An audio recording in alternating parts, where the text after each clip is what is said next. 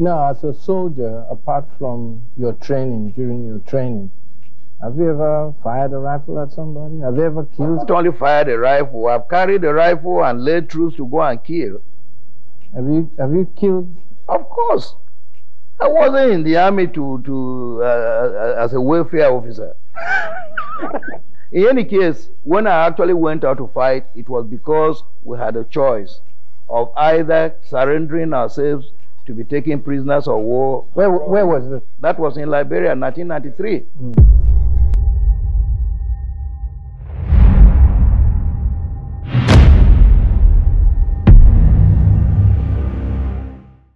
A full-scale war broke out in Liberia in 1989 when Charles Taylor, the then leader of the National Patriotic Front of Liberia, NPFL, in an attempt to assume the reign of power from President Doe, attacked Liberia from his base on the Ivory Coast. The attack was partially successful, and by August of 1990, the Charles Taylor-led NPFL controlled nearly the entire country. At some point, Prince Johnson, one of Charles Taylor's commanders, parted company with his former boss and formed Independent National Patriotic Front of Liberia, INPFL. This was initially set up to unseat President Doe. However, Prince Johnson and his troops later teamed up with President Doe to fight Charles Taylor. The Liberian Civil War raised troubling concern for African states, especially members of the Economic Community of West African States, ECOWAS. Member states fear that if left unchecked, the problem in Liberia will metastasize to other countries in the region. Encouraged by Nigeria, ECOWAS, after some internal wrangles and maneuvers, decided to send a peacekeeping force to Liberia to impose a ceasefire and to end the civil war. The ECOWAS troops, known as the Economic Community of West Africa States Monitoring Group, ECOMOG, arrived Liberia on August 27, 1990. During the summit of the ECOWAS Standing Committee, member states had pledged to contribute 4,000 troops. But on August 24, 1990, when the first batch of peacekeepers arrived in Monrovia, ECOMOG had only 2,600 troops drawn from Gambia, Ghana, Guinea, Nigeria, and Sierra Leone. The peacekeeping force was commanded by Lieutenant General Anthony Quainoo from Ghana. The land component of the initial ECOMOG force was comprised of contingents from Gambia, which sent one rifle company, Ghana, which sent 1,982 of one infantry battalion, troops armored reconnaissance, a battery of medium mortars, detachments of engineers, and a naval and sea detachments, and Guinea, which sent one infantry battalion, squadron tanks, troops, armored reconnaissance, battery air defense, and three patrol boats. Nigeria contributed one infantry battalion, which was later increased to three, one artillery regiment, squadron tanks, one anti-tank company, and a troop reconnaissance. The naval task force included the NNS Ambe, NNS Burma, NNS Damisa, NNS Ekpe, NNS Ohui, NNS Siri, and the tugboats. Ghana also sent two naval ships. The air component of the ECOMOG force was initially composed of four Ghanaian Air Force fighter ground attack matches and one F-27 transport plane. Nigeria later sent six Alpha jets and helicopters to replace the aircraft from Ghana. The reaction of the warring faction to peacekeepers differed markedly. President Doe and Yomi Johnson welcomed the peacekeeping arrangement and praised ECOWAS for its attempt to restore peace and order in Liberia. Charles Taylor, who all along felt he had an upper hand in the struggle for power in Liberia, stoutly opposed efforts by ECOWAS to mediate the Liberian conflict. He openly declared war on ECOMOG and ordered his troops to attack peacekeepers. Even with the presence of peacekeepers, the warring factions violently opposed each other, maiming and killing whomever stood in their way to power. We passed 3,000 mm-hmm. who then came inside the rebellion and then open fire upon me. Then killed beaucoup people there. Me yeah. the cartridge pitch. Who's saying this happened? Now yesterday. yesterday. Three days complete. Then we begin again 18 family then. When me responsible. Then after that Wednesday, we all scatter. Me mama na wolo wolo granny. Thirty day from that sixteen day today where I dey na sojourn here. I no able see me mama. Wolo wolo mami, e no able work herself. So, here is it down there. You have been caught. You have been caught. Can't it go. You can't it go. Can't it go. Ladies and gentlemen, I tell you, we, we arrested Joe in a very cool, cool and intelligent manner as commando. We are men. Yes.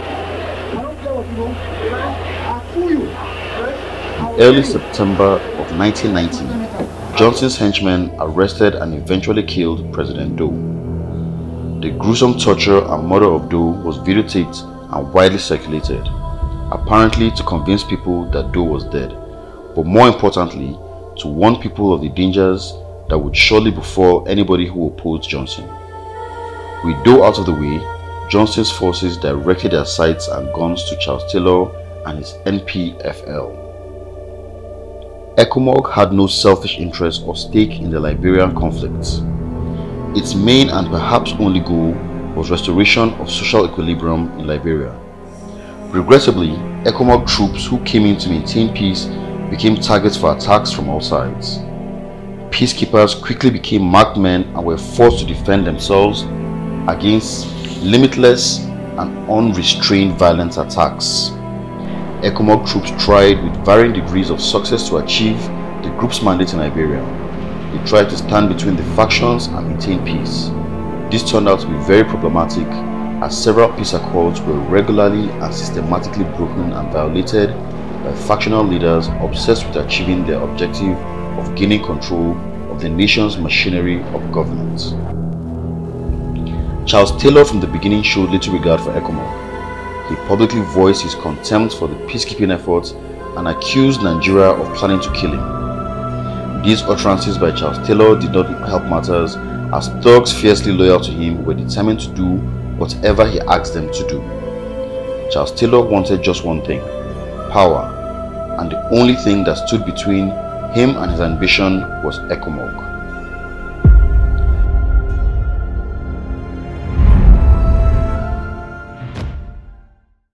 I went to Liberia for the first time 92 June. My tour of duty was supposed to be only six months because we used to rotate the troops then every six months. In fact, I've even let me start from the beginning. When the War College, Nigeria decided to have its own War College, a few of us from the Army, the Navy, and the Air Force, all of the rank of Brigadier Generals, were sent on course. We did a joint course with the British officer that were to come and open the college.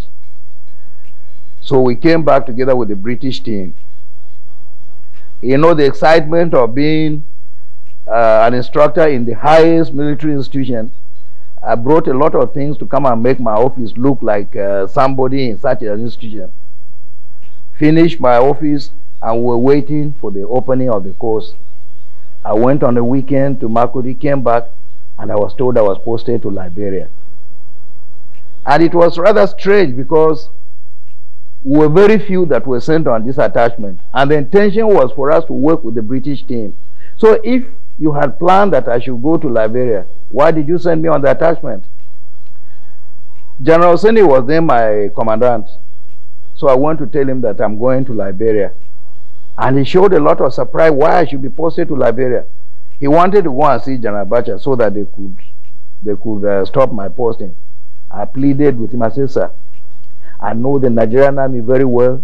If I don't go on this posting, the next thing against me will be that I was afraid to go for an operational posting. I went and wiggled my way out. Please do me a favor. Reserve my office for me. I'm only going for six months. I'll come back to the War College to come and teach because of the pride I had in that institution. Who signed your letter of posting? Uh, the military secretary then, General Sh- uh, Shagaya. So the order came. The, the order came from the The order was from the chief of army staff. No, it was General Salih Ibrahim. He never liked me till today. My first contact with Liberia was in 1992 when I was appointed the Chief of Staff of ECOMOG and the Nigerian Contingent Commander from June 1992 to June 1993. My deployment to Liberia marked a significant turning point in my career. Though I had trained for warfare, I had never been to war. I spent most of my time doing what soldiers do in peacetime training, attending courses, and doing administrative work.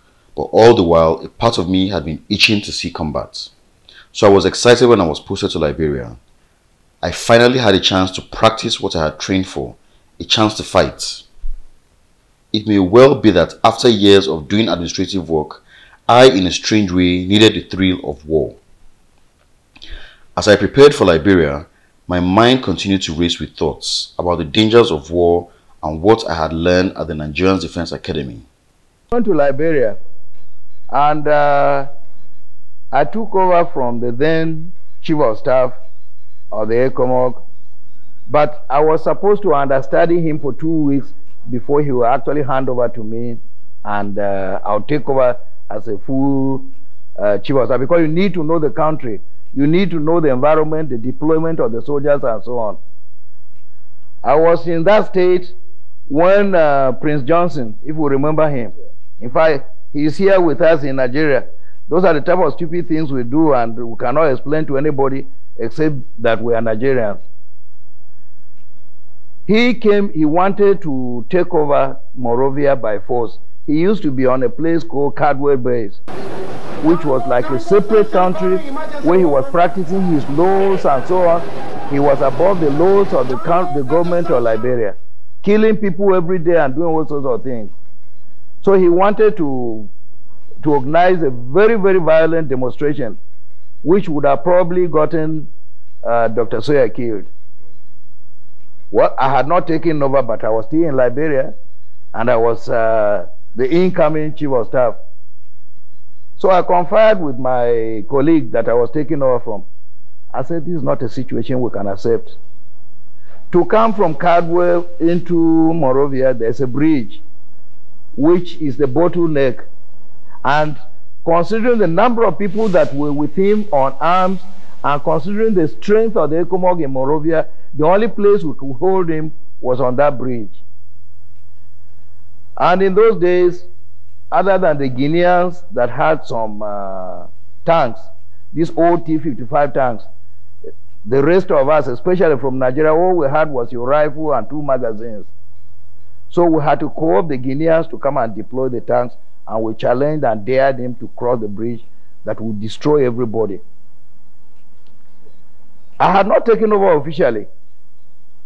We were there shouting at each other nose to nose until he saw that we actually meant what we wanted, that what we told him we were going to do. So he withdrew. So by the time I took over from Janambe as the chief of staff, I had two enemies. Uh, Prince Johnson wouldn't even acknowledge letters written by me. And I was the only person who could write and sign letters on behalf of the ECOMOG because I was the chief of staff. He said I was only a brigadier, he was a field marshal, that he could barely accept letters coming from General Bakut because he was a major general and that since there was nobody above him. So we became enemies right from that point. So that complicated my job a lot. But it was much, much later on, on October 15, 1993, when Charles Taylor, correction, 1992, when Charles Taylor organized what is very famous now, Operation Octopus, when he surrounded the ECOMOG with over 15,000 men and we're only 3,500. I'm going to explain to you why I had to go and kill. And proudly too.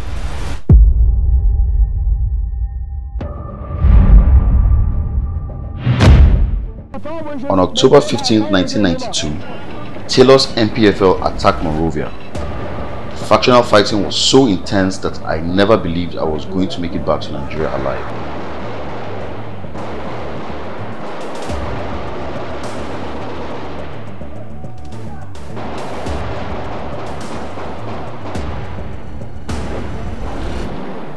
We took fire from all angles and it was difficult to ascertain who was shooting at us. The warring factions consisted of thugs with no formal military training. These thugs, finding themselves in unsupervised and dangerous situations, unleashed havoc and mayhem on society. Everybody along their way had to be mowed down or butchered including women, children, and ECOMOG peacekeepers. In the confusion that ensued, ECOMOG troops remained calm and displayed extraordinary courage in the face of danger. The battle raged on for four days until ECOMOG troops recovered from the shock and started to overpower the NPFL. So we're now in a position of either giving up and surre- surrendering to the rebels or fighting to stay alive. The only place we could maneuver was from the ECOMOG base. Have you been to Liberia? No, no. When you sit in the ECOMOG base, if you look back, less than 200 meters is the Atlantic Ocean. So the question of saying you are running to anywhere is not there unless you can swim across an ocean. And in any case, we didn't even have boats. So the question of escaping was not there. We had to fight. And if you want to fight safely from a professional point of view, you go aggressive and push the other man. Don't let him be the one pushing you. This was at a point at which, as a brigadier general in the army, I used to carry my rifle. And once they saw me as a very senior officer going out, cooks, stewards, tapis, everybody will be encouraged. If, general, if the general can do this, we can. Then they will follow me behind. And my fear used to be that they should not shoot me from the back. We keep praying because it wasn't from the enemy this time. Your threat was from those soldiers that were following you. In the end, we succeeded in closing the rebels out of Monrovia. It was when it became obvious to Charles Taylor that he could not assume leadership through violence that he decided to go back to the negotiation table. After one year, when it seemed as if we had achieved our objective, I was posted back to Nigeria. In 1996, I came back to Liberia, this time as the ECOMOG Force Commander. Prior to my appointment, ECOMOG had been blessed with fine commanders, including Lieutenant General Anthony Quainoo from Ghana, who served as the first ECOMOG Force Commander. Lieutenant General Joshua Dogonyaro, who served from September 1990 to February 1991. Lieutenant General Rufus Kupolati, February 1991 to September 1991. Major General Ishaya Bakut, under whom I served briefly as the Chief of Staff from September 1991 to October 1992. Major General Adetunji Olorin, with whom I served until my posting back to Nigeria in June 1993. He served from October 1992 to October 1993. Brigadier General John Shagaya, October 1993 to December 1993, and Major General John Mark Inienger, December 1993 to August 1996. Going to war is never an easy task. Having to stand between two mortal enemies bent on killing each other was even more problematic. Liberia presented a unique set of problems.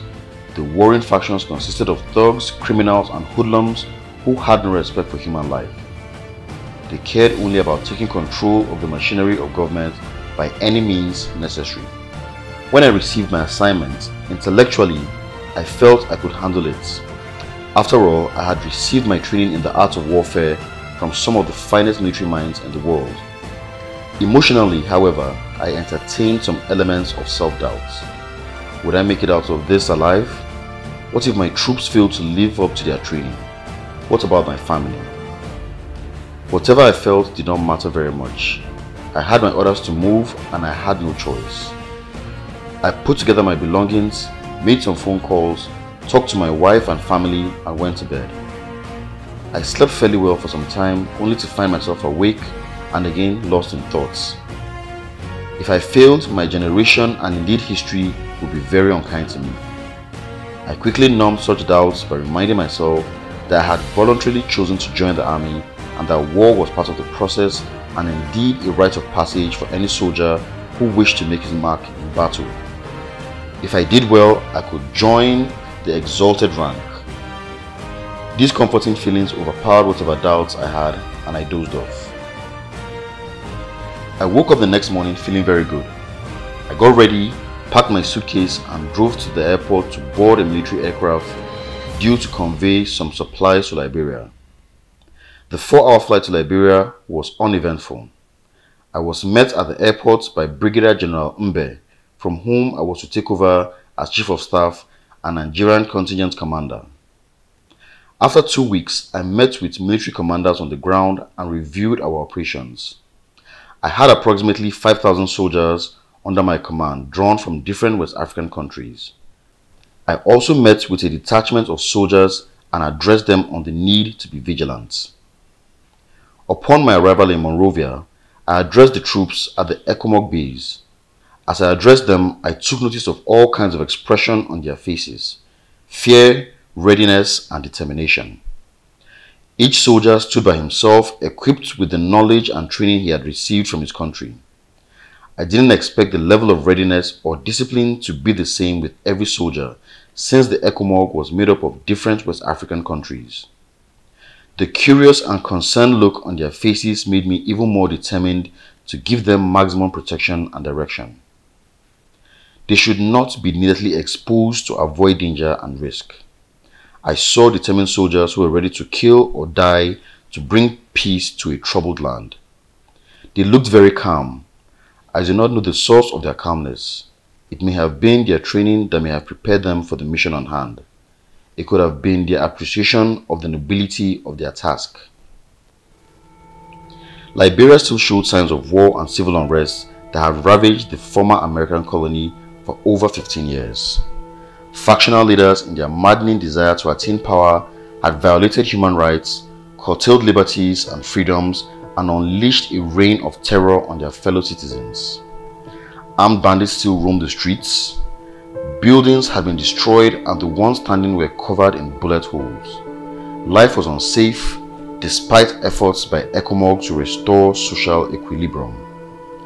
The opportunity to personally witness the horrors of the Civil War made me more determined to bring an end to the conflict.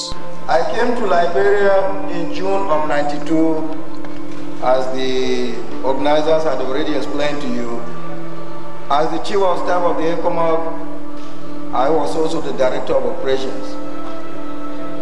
It was at that time, or during that time, that we had the octopus operation. For the first time of my long years of service, I stood at a point at Paul River Bridge I saw what is called refugees in distress. I was wearing dark glasses. For the first time in my remembrance, tears came out of my eyes. But having come here to serve as an officer at a very high level and to see how a people, a nice set of people, can go through the type of trauma that you went through I knew it was absolutely necessary for somebody elsewhere to do whatever it took to help bring peace to this country.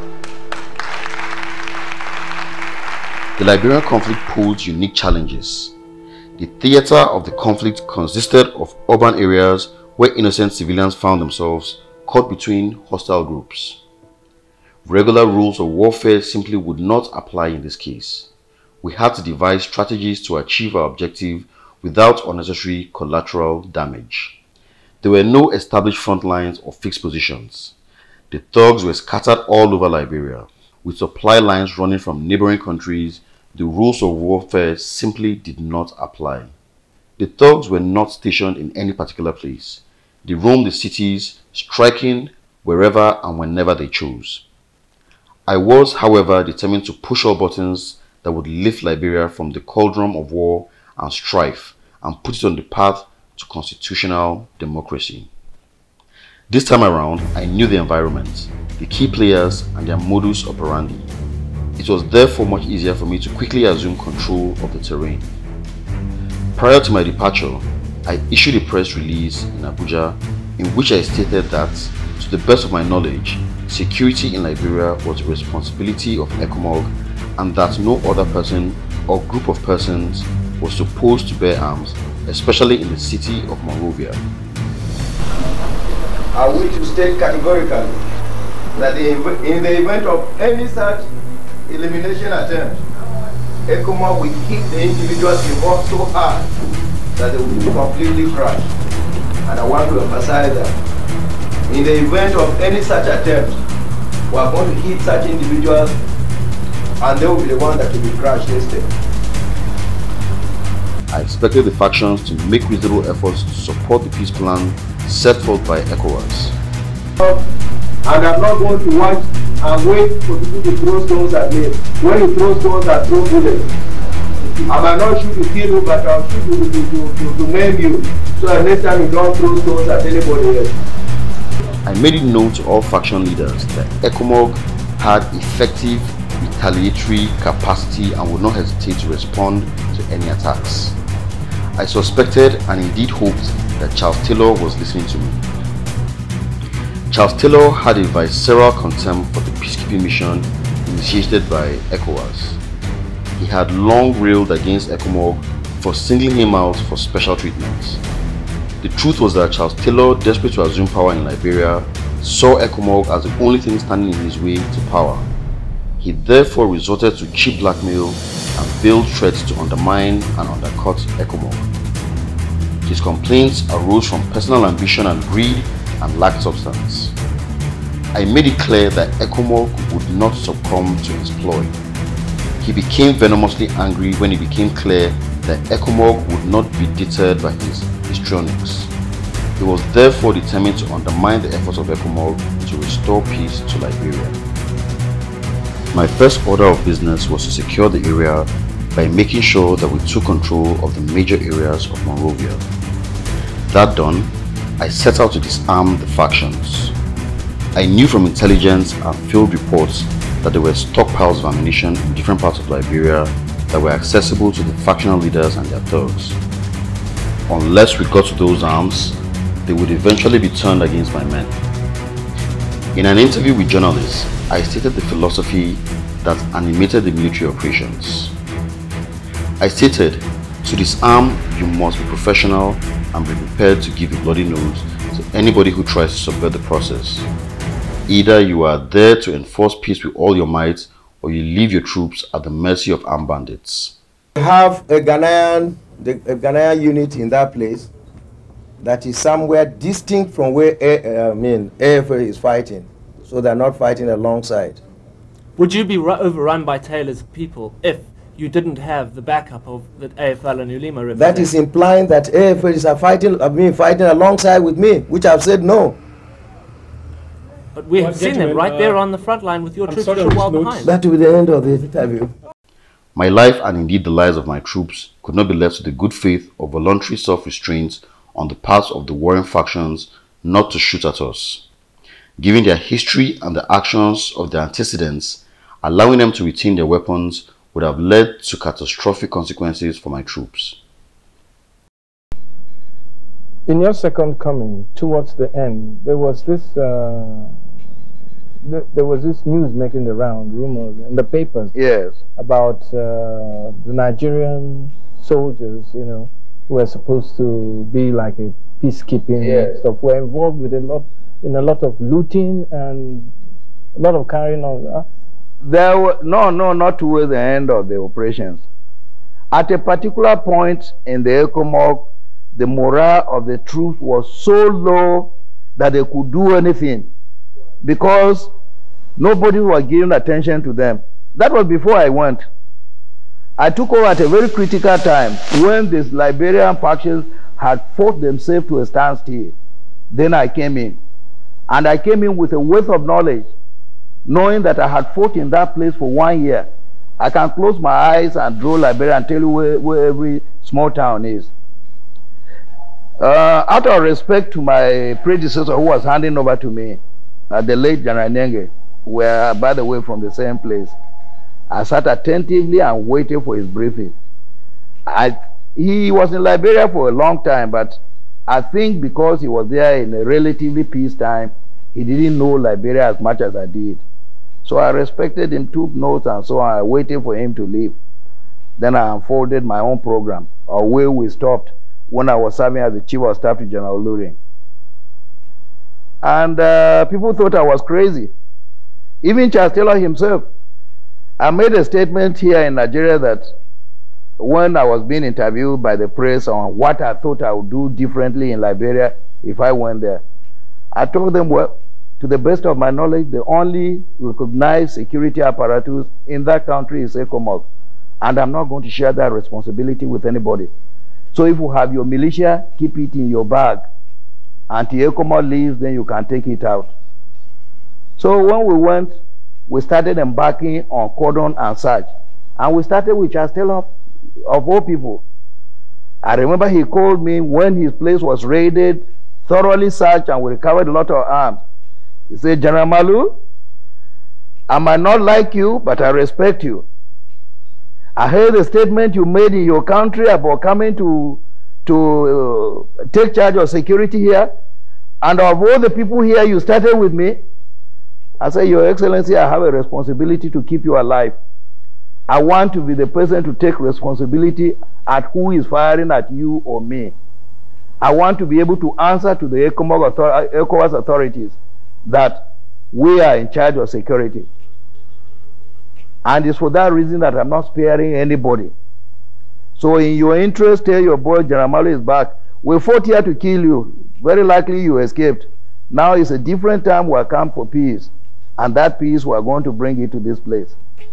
The best the frustrated Charles Taylor and his thugs could do was to sporadically attack ECOMOG troops. With time, ECOMOG took back the city of Monrovia street by street, building by building. Much as I did not particularly like Charles Taylor, I refrained from personalizing my mission. I was going to even-handedly deal with the warring factions. I made it clear to all concerned that I was not interested in involving myself or my troops in their local politics. I had one job and one job alone, to carry out the ECOMOG mandate of maintaining peace. It did not take long for my resolve to be tested. By October, there was an attempt to assassinate Charles Taylor in the executive mansion. As the force commander, I would have allowed my subordinates, especially the chief of staff and director of operations, to handle the matter. But for some reason, I decided to take over the operation. Within a matter of minutes, approximately 10 minutes actually, we saturated the whole of Monrovia with ECOMOG troops. Residents were surprised by the number of ECOMOG soldiers in Liberia. We used helicopters, ships and land vehicles. My main aim was to keep everybody at a standstill and prevent the warring factions from accessing their arms. Charles Taylor threatened to leave and argued that maybe I had been sent to kill him because of the bad blood between him and the former ECOMOG commander, General Olurin. I knew Charles Taylor too well to allow such cheap blackmail to derail me. I also suspected that he knew that I was determined to rid Monrovia of the criminal elements and thugs who had threatened the peace and tranquility in Liberia, which had been relatively peaceful until April, when violence had erupted once again. The fighting was in Monrovia. ECOMOG withdrew to his base and allowed the factions to sort things out.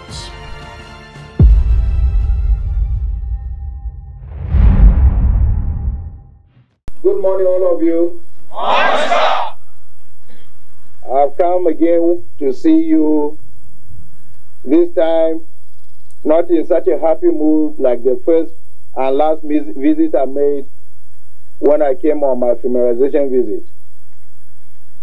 I came in precisely this morning to say farewell to you on my redeployment from the ECOMOG back to Nigeria as a general officer commanding one of the divisions. The posting or redeployment took me just unawares, like every one of you would have been taken unawares. We have worked together from 22nd of August 1997 when I came here, correction, 22nd of August 1996 when I came here till today.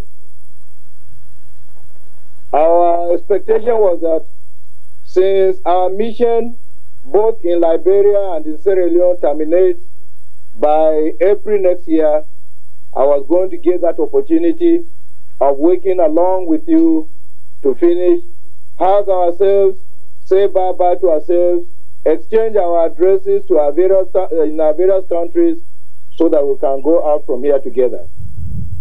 Unfortunately, that is not the case. Well, life must still go on. On this farewell visit, I took the liberty of coming with both the DFC-1, General Kwarteng, and the Chief of Staff uh, General Abdulwan. And it was not by mistake that I came with them. The reason is to assure you that the policies that we have been pursuing in our peacekeeping effort, both in Liberia and in Sierra Leone, will not change on my departure from the mission area. We have achieved a lot, and the whole world has commended us. We have to pursue that same policy that enabled us to achieve the measures that we have already reached here in Liberia. I, I came particularly to say thank you to all the officers, all the soldiers of ECOMOG. You have made me proud. You have made your countries proud. You have made the ECOWAS proud. The achievement you have made, you have made in the region here, not only in Liberia, but what we are doing currently in Sierra Leone, is something that has never been done before. I know in the process the inconveniences we have gone through. We have lost some of our colleagues. We have been taken ill. We have suffered a lot of uh, humiliation from the same people that we are supposed to be supporting. Those things you should not count them against anybody. That's part of the hazards of military operations. These are things that make the difference between a disciplined soldier and what in my country we call the idle civilian. I'm asking you to redouble your effort. We're already in January. We have only up to end of April by which we hope to be leaving for our various countries. We have not been able to start the operation in Sierra Leone as we had planned. But the main reason is the delay in the decision of the ECOWAS authorities on our movement into Sierra Leone. I'm expecting that within the next couple of days, that order for us to move and march into Sierra Leone will be coming. I want you to do this with all sense of professionalism like you have done here. I can assure you one thing. The Sierra Leoneans are not crazy. If we move into Sierra Leone with the type of force that we have planned for, and with the type of equipment that we have already received and that they're on the ground, Nobody is going to dare take a shot at you. I know this from experience, and I can tell you now that I'm living that that was why we achieved peace here in Liberia. If we had not beefed up our strength as we did, if we had not shown that capability, that ruthlessness, that toughness, that if we had not shown that we were capable of firing back and firing effectively, we would have still been sitting here complaining we demonstrated to the world that the troops of the South region are properly trained, properly equipped, have the will and the determination, they have the guts to deal with anybody. The warring factions in Liberia saw that and respected us. This is the same attitude we are going to carry into Sierra Leone and we achieve the same major objectives. My regret is that having come this far I might not have that opportunity of leading you. I feel very bad about that. But as I said, my officers of the High Command are all going to still remain there. And this is the main reason why I came with some of them, so that you are sure that ECOMOG is not dismantled. I am just a single person that is going out. And then a word about my successor. He happens to be a colleague a personal friend, a course mate, somebody we've been together for the past 31 years. I can assure you that the policies we're executing here are the same is going to follow. So he's not going to let us down. He will not let you down. He will not let your countries down. And together we shall not let down the ECOWAS. I wouldn't have much to say except to say that in this new year, I wish you everything that you wish for yourself.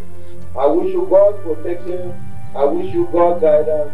And I wish that by the end of everywhere you are living, I might also have the opportunity of coming to be a part of the celebrations to uh, celebrate with you while you are living Sierra Leone. Thank you very much. As I was getting ready to return to Nigeria, I went through the entire gamut of emotions. I remember the fallen soldiers who had paid the ultimate sacrifice. These were men, fathers, brothers, husbands, and sons who had gallantly obeyed orders and laid down their lives so their fellow human beings might have a better life. I prayed for them. I asked for God's comfort for their families and asked God to give them the strength and courage to carry on. I thought about the soldiers I was leaving behind, brave men who had left their countries and their families to help ensure peace and freedom in a foreign land. Nothing could be nobler than putting oneself in harm's way so that others might live in freedom. I pray that Almighty God will continue to protect them and grant their commanders the wisdom to make the right decisions. I also thought about the people of Liberia. I remembered ordinary citizens who through no fault of their own had been forced to live in less than satisfactory conditions. I wish that our assignments would lay the foundation for lasting peace in Liberia. Yes, I thought about myself. I thanked God for sparing my life. I was proud of my efforts and achievements. I had helped restore peace and order in a country that had hardly known either before ECOMOG troops arrived. I hoped that history and posterity would be kind to me in their assessment of my role in Liberia. I can tell you that not being a Liberian, I've never observed any election that has been conducted so freely and so fairly. But I think I must first commend the Liberians themselves. The orderly manner, the enthusiasm they have shown to come and conduct themselves, stay quietly in line without shuffling, is something I really admire. I believe at the end of it, Liberians themselves would have uh, voted a leader that all of us, including myself, will give the fullest support. So I wish all of you luck. I was also mindful of the fact that revisionists and politicians with an axe to grind will try to distort the facts either in an attempt to discredit me or to gain cheap political advantage. What detractors wrote or said about me was the least of my worries, and indeed was of little importance to the people of Liberia who had recaptured their freedom and indeed their humanity.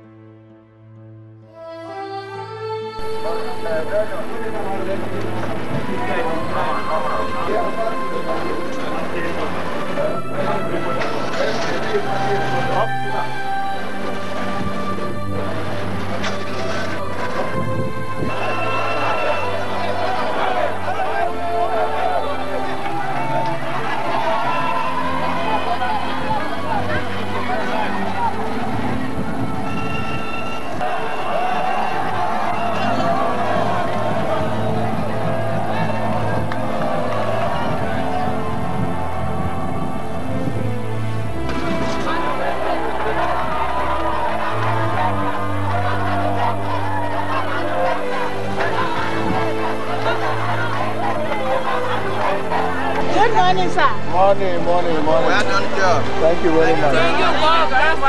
Thank you. We believe we are having a good time with our soldiers around here. Yes. You want us to leave them here or we want them to go? Leave them So, all the Namibian people were our children. Women, we falling down on you.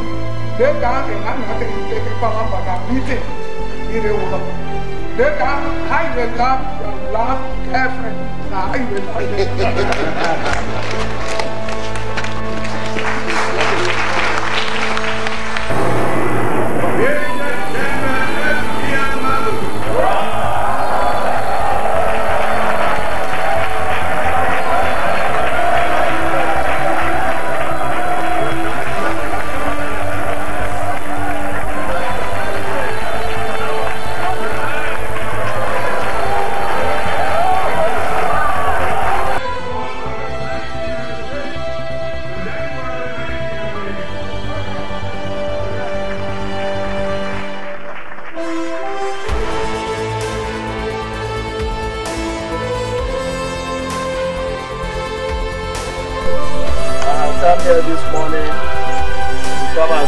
faces again and bid you farewell from the mission area.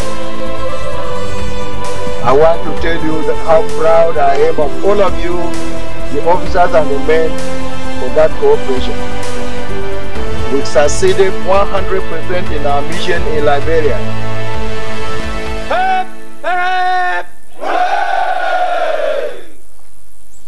If you see what people wrote about me in Liberia, now they recognize that ECOMOG is not dead. And then my name, I used to be very popular there, maybe in those days. Started talking about General Malu. I almost became like, I used to tell them they're spoiling me. In my country, I'm just an infantry officer. They are making me to feel an important person. Maybe I'll go back and start behaving that way and get myself into trouble. It was no longer in my hands. I had played my part with honor and I was going home to my country and my family. As I pondered these thoughts, the words of an editorial written in the Liberian Enquirer Friday, January 9, 1998, titled Farewell Malu echoed within me. It reads General Samuel Victor Malu, the Nigerian general whose name has gone into history for being the first commander of the multinational peacekeeping force that succeeded in disarming the former warring factions in the country, thereby creating the atmosphere for the special July 19 January and presidential election, has been recalled to take up a new assignment in his country. Indeed, General Malu has left his footprints on the sands of time that generations to come will forever remember this fine and no-nonsense African soldier. We recall that the outgoing force commander took over helm of affairs of the ECOMOG forces weeks after the April 6, 1996 factional fighting, which devastated the city of Monrovia. Shortly upon his takeover, General Malu rebuilt confidence among the factions. Also, he professionally and maturely handled the October 31st assassination attempt on the life of the then councilman Charles Taylor, now president at the executive mansion. Similarly, we note with satisfaction the security modus operandi employed during the electoral process which made the process to become free and fair.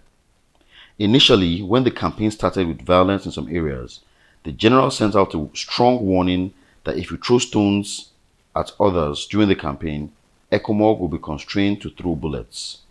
This warning sent a clear message to would-be troublemakers, thus making the process go ahead without any major violence.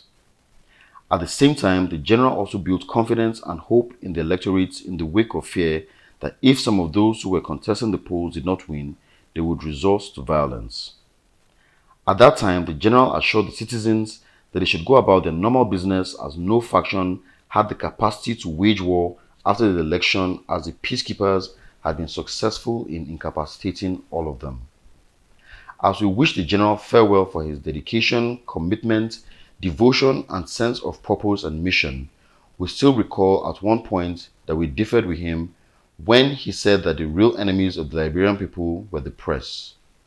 We are now convinced that at the end of his mission, he has now realized that the real enemy of the Liberian people, the press, is only a partner in progress, whose function and role are at times misconstrued by selfish and power-greedy individuals.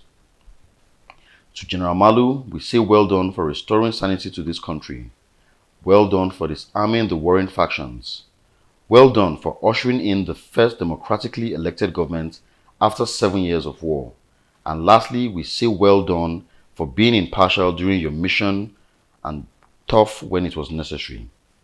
In the Liberian way, we say goodbye. Your morale is high. It can't get cold.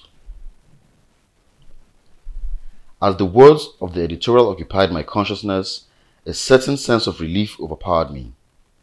My stay in Liberia had made a difference. I had brought peace to a country and provided an enabling environment for elections that ultimately produced and elected a civilian president.